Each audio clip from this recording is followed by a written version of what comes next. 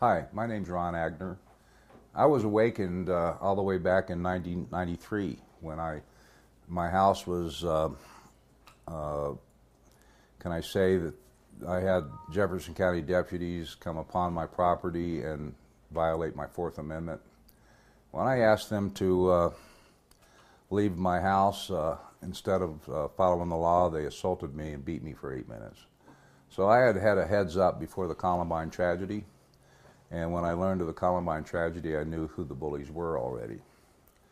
So I have uh, been on this quest since Columbine to uh, uh, expose the um, reason for the Columbine tragedy, and it happens to be a lot worse than I had expected. I assumed that the two boys during their arrest, the, the two killers, uh, had been uh, abused by cops, but we had no idea that they had been raped by cops until we found a picture that Eric Harris drew, which led us to believe that. And we have so much um, uh, information that it will boggle your mind. We're, we've got very strong circumstantial evidence, including uh, testimony from attorney John DeCamp, that the uh, two shooters had been sexually molested by police officers.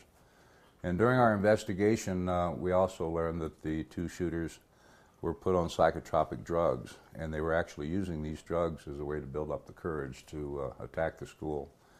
We found a written motive where the shooter, Harris, gets a uh, letter from uh, Dylan Klebold in his uh, yearbook, and it stated that they would be blowing up things on an April morning, and they were going to be killing cops.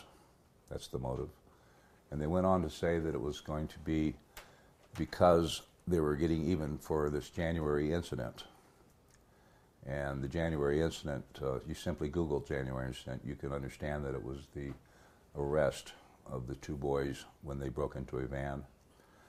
Uh, we have John DeCamp, who has gotten information from another source. He was able to go into the secret files that have been sealed, plus the basement tapes that the two killers made and he says that those files indicate that the boys were raped multiple times besides this January incident.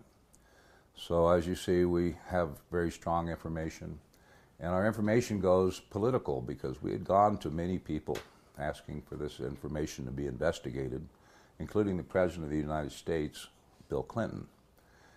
And also, it uh, presently enters the White House in the name of Ken Salazar, who's the Interior Secretary. He was the Attorney General at the time, and uh, we have him pegged as being a Columbine cover up uh, conspirator along with Bill Ritter.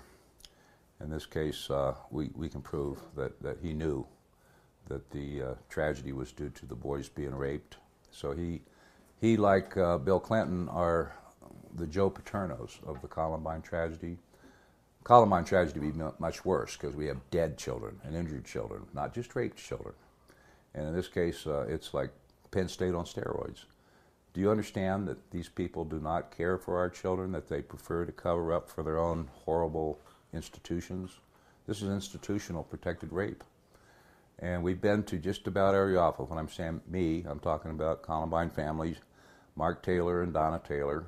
And I've been with them during this entire episode where she's the one that brings me to these people because many of these politicians have wanted to uh, use their tragedy for their own purposes, and we've simply taken those opportunities to share with them what we've learned. Uh, this goes my experience. I was um, uh, harassed and uh, obstructed, uh, mostly white collar abuse, uh, when I tried to build a bed and breakfast and had to force. I was forced out of Jefferson County. Uh, could no longer work there because of the harassments, and I moved to a little restaurant called the Coney Island Hot Dog, and I rebuilt that in Park County. Before I even got that built, I was involved in another school shooting in which a little girl that I knew named Emily Keyes was killed in a crossfire between a man who came into the school and started raping children. The official story was that he was just a random camper but we know him as a angry parent, and we have the proof that he was an angry parent. And we also have the kids that worked for me uh, who came to me and told me that the school resource officer, Jeff Wood, was getting girls pregnant, and that's true. And so in this case, we have all the pieces that they didn't want to share with us. That uh, here again, we have another school shooting, a deadly school shooting, in which the school is protecting and also the uh, uh, law enforcement is protecting a sexual predator who provoked uh, uh, what we understand to be a estranged father into taking the law into his own hands.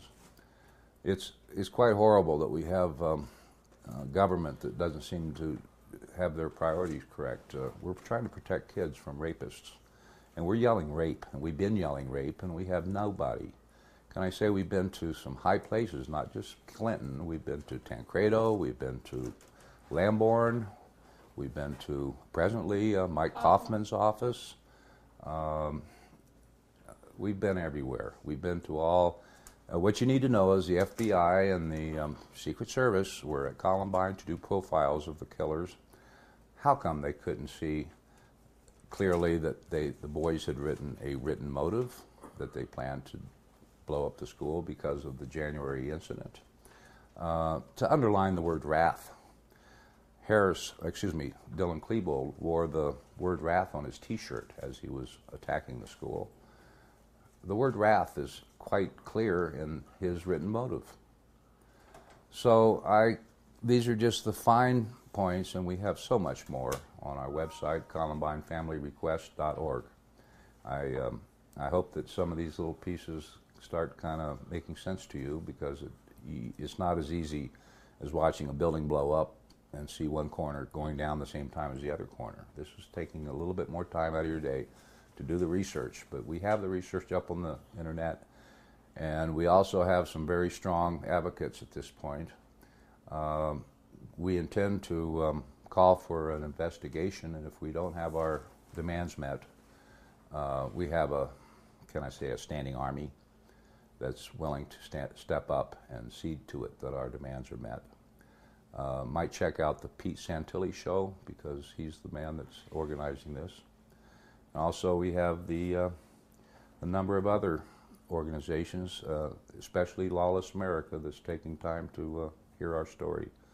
And um, we would just like to thank the people that are uh, giving us finally the opportunity to share this horrible truth. You need to know that the truth will protect the lives of children because the lie that they um, put upon Columbine that it was two angry boys because of school bullying is causing children to kill children. We had an episode uh, three days before the Columbine tra- uh, the uh, anniversary this year. 13-year-old boy went into his middle school, Isaac Newton Middle School, right across the street from where we buried the, the children of Columbine. And his intent was to put a bomb underneath the jocks table and blow the cafeteria up. So you understand once you learn that this was not about school bullying, it was about police pedophilia, that uh, the kids have been misdirected into, you know, it creates a tremendous fan base when, when they uh, talk about these two boys being angry at classmates. And I've been on the internet enough to know that some of these disenfranchised kids really think that these two boys at Columbine are gods. So we need to separate this uh, truth even though it's a horrible truth, we have to separate that out and let the kids know that it wasn't about them. It was about police behavior. And I thank you for the time. Uh, when it comes to the um, Platte Canyon shooting, um, you can uh, do your own. We don't have a website up for that, but uh, all of the documentation that I have is still live links, and you can do your own research and learn. Uh, that the uh, first reports out of that school that was a parent, and they they've passed it off as being a random camper. That's not the truth. We know that the school resource officer was getting girls pregnant, and uh, it goes into child trafficking, where we also learned that in Jefferson County, this is where Columbine happened. They were since 1994. They have been trafficking children. Uh, we learned this through a lady named Judy Chase, and Judy uh, had her husband murdered satanically. Was her, his body was found in Bear Creek 45 days after he disappeared, and they learned the name of the child trafficking operation. They called themselves the Fat Cats, and the Fat Cats uh, murdered her husband satanically. It ties to the Columbine and to the John JonBenét Ramsey case because they leave calling cards. In the Columbine case, Donna Taylor, they left dead fish carcasses in her yard. In the Judy Chase case, they left animal carcasses in her yard.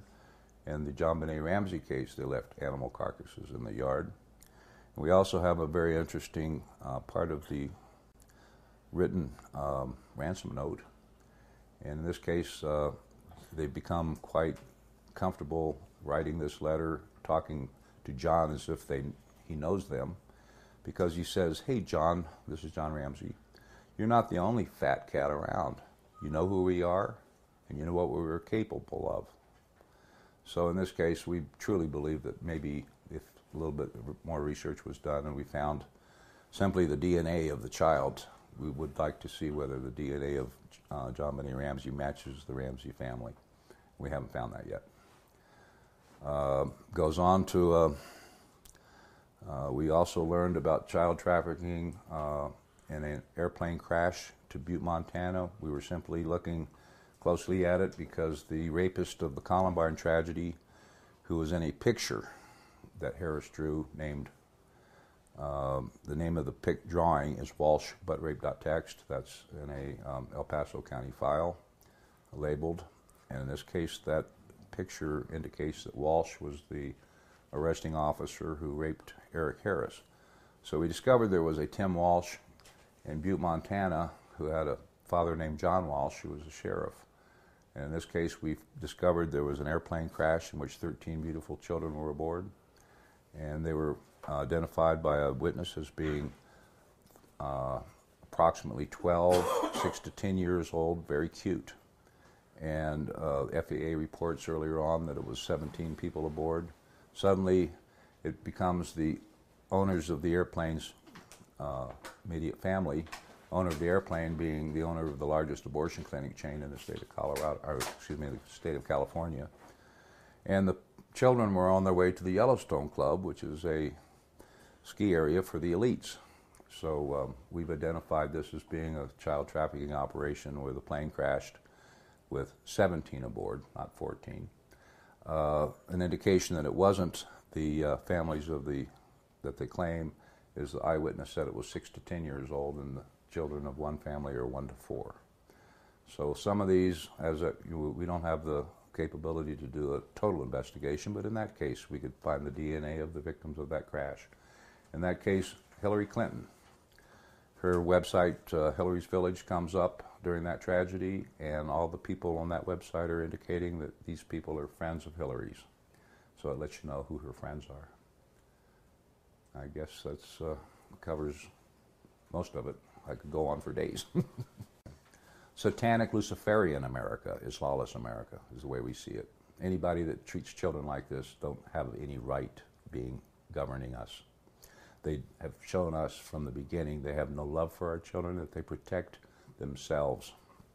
And that's how we have to live, knowing our children are in danger from the government that we pay to protect them. I want my country back.